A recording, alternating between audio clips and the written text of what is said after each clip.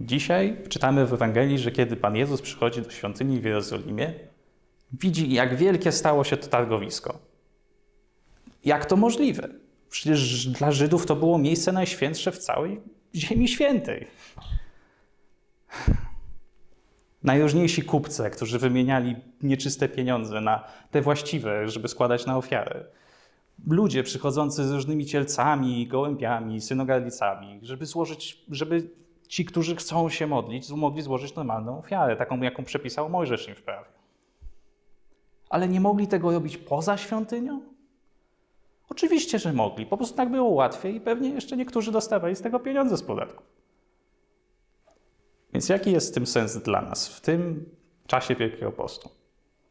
Otóż z taką gorliwością, z jaką Jezus oczyszcza świątynię, chce też oczyścić świątynię naszego ciała. Bo kiedy przyjmujemy Pana Jezusa, stajemy się jak mały kościół, świątynia. I Pan Jezus chce, żeby było w nim dla niego, w takiej świątyni dla niego miejsce. Jak wiele jest tam troski o pieniądze, jak wiele o przeżycie kolejnego dnia. Podczas gdy, przynajmniej w naszych warunkach, zazwyczaj nie musimy się o tym aż tak przejmować.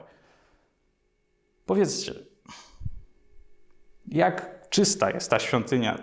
Czy znajdzie się tam miejsce dla Pana Jezusa?